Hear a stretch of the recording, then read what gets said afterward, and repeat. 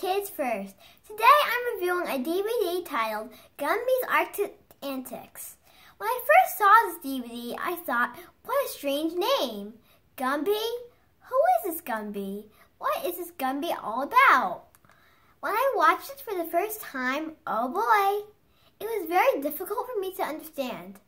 It's because the stories are extremely bizarre.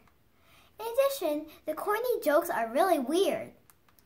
For example, who would have thought a walrus could make a gourmet dessert called chocolate clam dandy? This DVD appeals to adults who would desire a blast from the past. This is because Gumby was popular way back in the 1950s. This DVD is a hodgepodge of 12 episodes.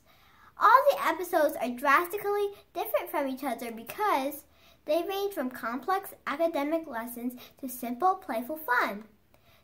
Is no telling what you're going to see next.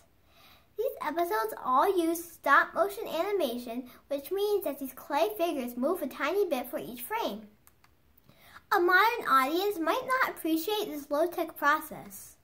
The Arctic Antics episode is a science lesson about ecology.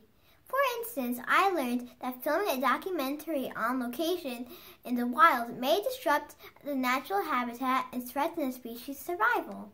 My favorite episode is Santa Witch because it is so pathetic and funny to see Santa Claus lying on an ambulance sled.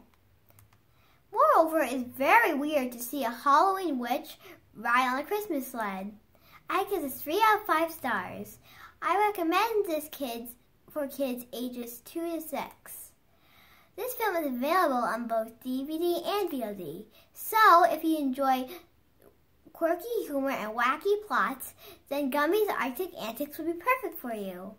I'm Eden, reporting for Kids First. Thanks for watching!